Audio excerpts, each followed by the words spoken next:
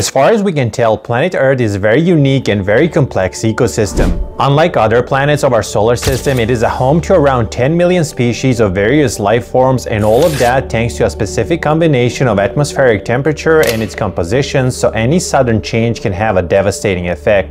So how exactly is current rapid warming affecting all of that? Well, greenhouse gases are a key factor in providing stable temperature, but their increased levels mean that more heat is being trapped under that atmospheric blanket, thus it creates a disbalance. This increased heat causes excessive evaporation of bodies of water and soil, causing water scarcity and severe droughts in certain regions, while warmer air also holds more moisture so it can divert precipitation patterns and cause severe flooding and snowfall in others. Warmer climate also means that more water trapped in glaciers gets released, thus causing the sea level rise, but additionally, warm oceans provide more energy for severe storms such as hurricanes and cyclones that can bring devastation to coastal settlements and ecosystems. Tornadoes could also be getting more frequent and severe due to the increased air moisture content that fuels powerful thunderstorms that under right conditions create powerful twisters, possibly even in areas that historically weren't as affected. All of this leads to loss of habitats for most of the life forms which will significantly speed up the extinction rate of endangered species thus severely depleting food sources for others up the food chain. Although scientists are still trying to fully understand the effect of rising temperatures, things are likely to get worse before they get any better.